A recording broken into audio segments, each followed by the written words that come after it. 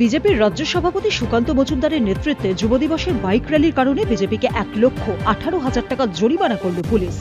এই র্যালিতে পুলিশের অনুমতি মেলেনি। অনুমতির তোয়াক্কা না করেই গঙ্গারামপুর থেকে বালুরঘাট পর্যন্ত বাইক র্যালি করেছেন সুকান্ত মজুমদার।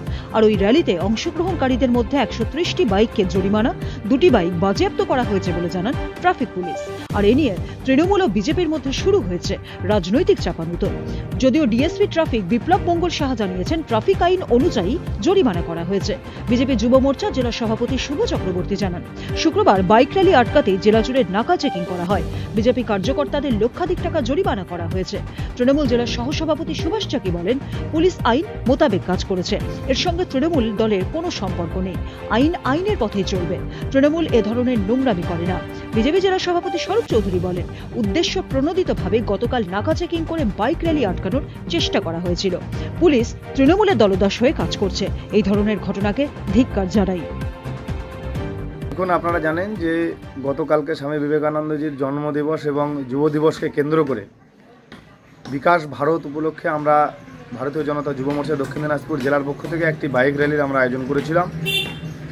কিন্তু আমরা দেখেছি যে তৃণমূল কংগ্রেসের দলদাস পুলিশ আর অতি সক্রিয় হয়ে কালকে আমাদের সেই বাইক র্যালিকে আর আটকাবার সর্বতভাবে চেষ্টা করেছিল।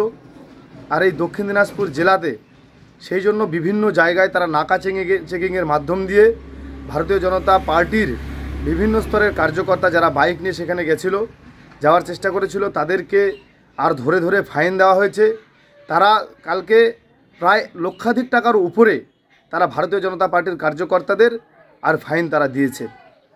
সেই জন্য আমরা ভারতীয় জনতা যুব মোর্চার পক্ষ থেকে আমরা এই দলদাস তৃণমূল কংগ্রেসের পুলিশকে আমরা ধিক্কার জানাই।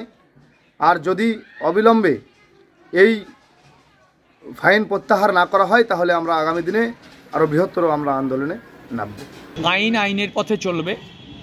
প্রশাসনিকভাবে প্রশাসন যা করার করবে সেখানে তৃণমূল কংগ্রেসের কোনো বক্তব্য নেই। তৃণমূল কংগ্রেস ওই সব নোংরা রাজনীতি করে না।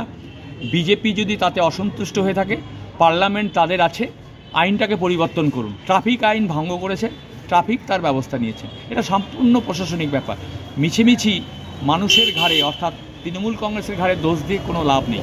কারণ মানুষ বোঝে, ওরা মিথ্যার উপর দাঁড়িয়ে আছে এবং যখন কোনো কিছুতে সামাল না দিতে পারে, তখন তৃণমূলের ছায়া দেখে সর্বত্র। সুতরাং আমি মনে করি, প্রশাসন যা সঠিক মনে করেছে, তাই করেছে। বালুরঘাট থেকে সুবীর মহন্তের রিপোর্ট, উত্তরবঙ্গ সংবাদ।